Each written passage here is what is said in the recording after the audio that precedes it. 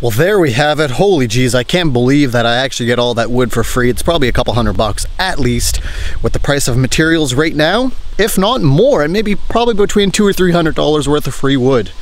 Woo, that is awesome. So what this is gonna be, this is gonna be the starting of a mudroom just because I don't want the door to be open all the time going into the cabin. That way I'll lose heat in the winter. So this way I can have the door open and the mudroom open and then I can have the door in the cabin closed. Kind of an air barrier.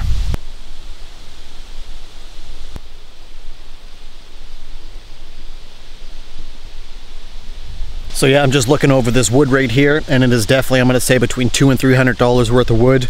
I have actually two by fours. It looks like I have some four by fours. I have a six by six old barn beam. I have a one by four, uh, one by six, one by 10. There's all kinds of good stuff here. So I'm back at the property right now. I have all that free wood hauled back here and I have my posts dug for my mudroom. It's gonna be a four by four mudroom that's gonna be attached to the deck on the back corner of the cabin.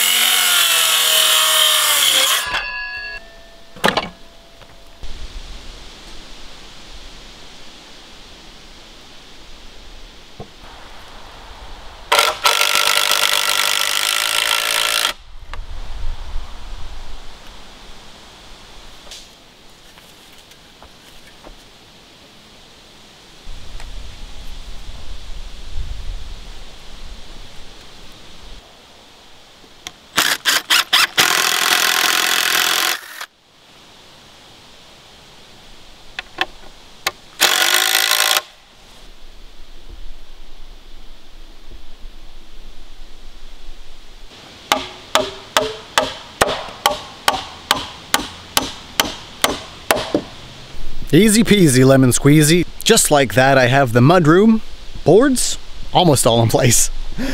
Here's what we have so far. Four by four box. Gotta cut down my post right there.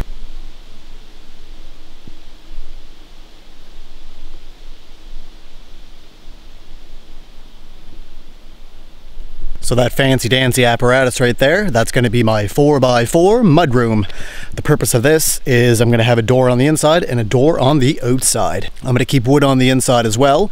That way I can keep the cabin door closed, but I can still fill the mudroom with wood or take my clothes off or wet clothes, dry clothes, whatever.